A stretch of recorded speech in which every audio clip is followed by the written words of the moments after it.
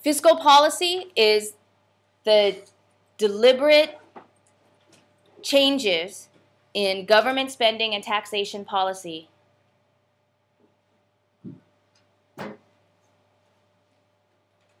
in order to bring about changes in the economy, to bring about the desired changes. It's intentionally intervening in the economy.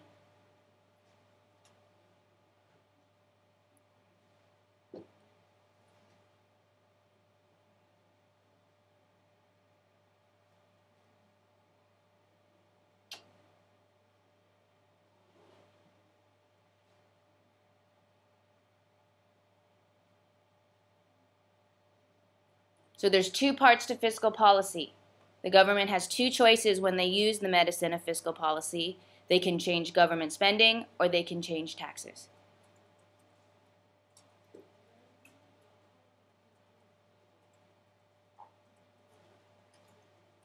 The word fiscal um, is usually used in reference to budget.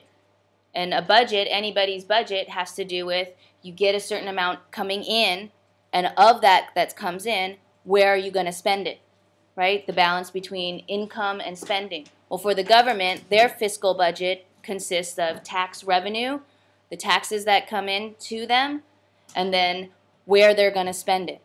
So each year, fiscal policy is decided upon when they create a budget, when the president and the Congress creates a budget, which has been an enormous problem in the United States this year, if you've been following politics to try to come up with some uh, compromise between the Democrats and the Republicans was very difficult this year because Republicans were saying we don't want to have a lot of government spending and intervention, and we don't want the government taxing us.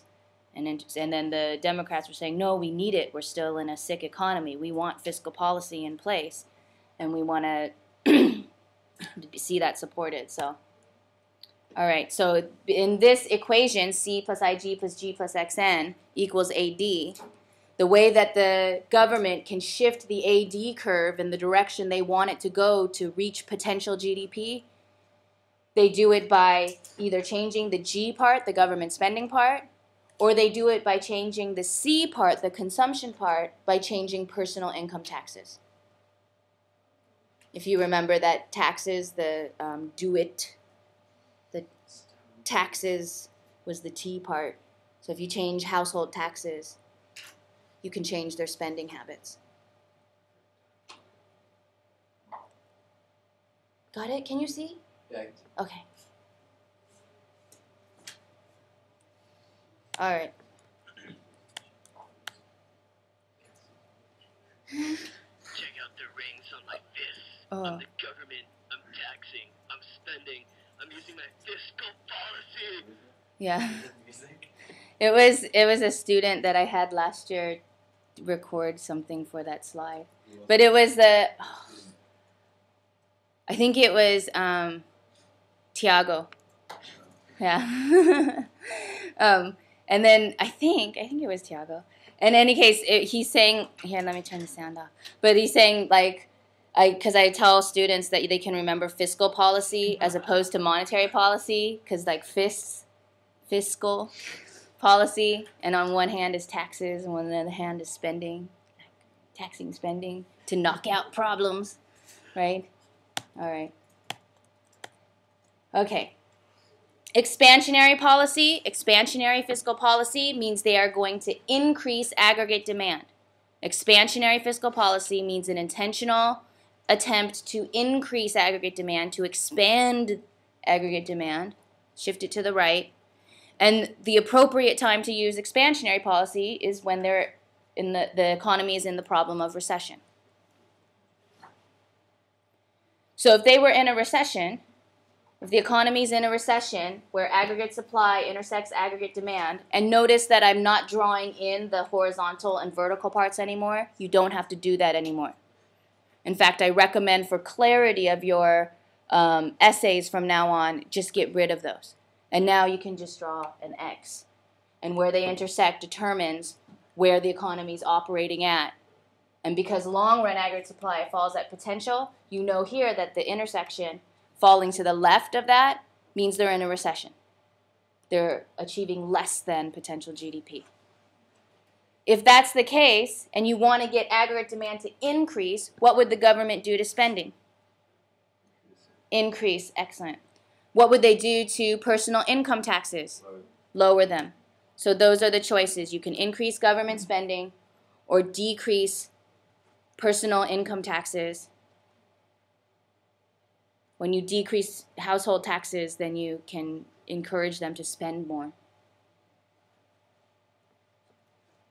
Those are your two choices. Or actually, you have three choices. The government has three choices because they can increase spending, or they could decrease taxes, or they could do a combination of it.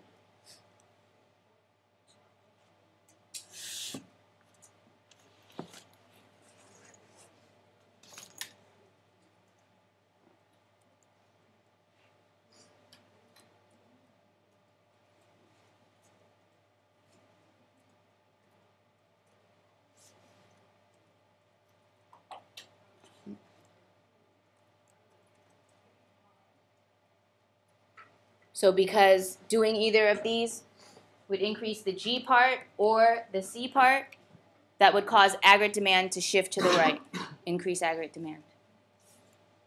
And hopefully um, calculate it correctly so that you hit potential GDP and don't put the economy into overdrive into demand pull inflation. don't push them too far, right? So it's tough to accurately calculate how much spending to do or how much cuts in taxes to do. We'll look at a, a method that scientifically tries to do it, but it doesn't always work because the economy is an open jar. It's not a controlled environment. People come along and they send planes to destroy your trade center. and it suddenly doesn't work. Yeah. Into demand pull inflation. There, by definition, they would have gone into demand pull inflation only because um, the prices increased compared to the last year, the previous year. But whether they went into like excessive amounts of inflation, no. We talk about inflation occurring in the 50s once the soldiers came home and there was suddenly a bunch of um, baby making and therefore a lot of house buying and, and appliance buying and all kinds of buying that was going on. Yeah.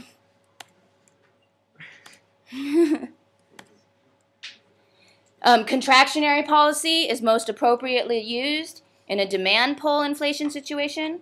In, the, in a demand pull situation, the aggregate demand curve has exceeded the point where it would intersect at potential GDP, it's gotten like out of control. We love to buy, buy, buy, buy, buy.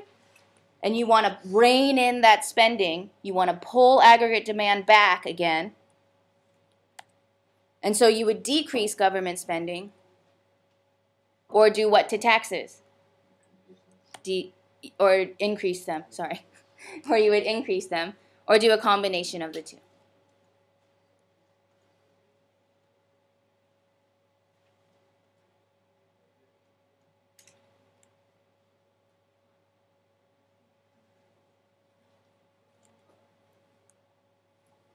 And this would decrease the G component or the C component, or both if you use a combination, and therefore decrease the total spending. So aggregate demand would decrease and hopefully hit the target of intersecting short run aggregate supply again at potential GDP to lead to a star economy.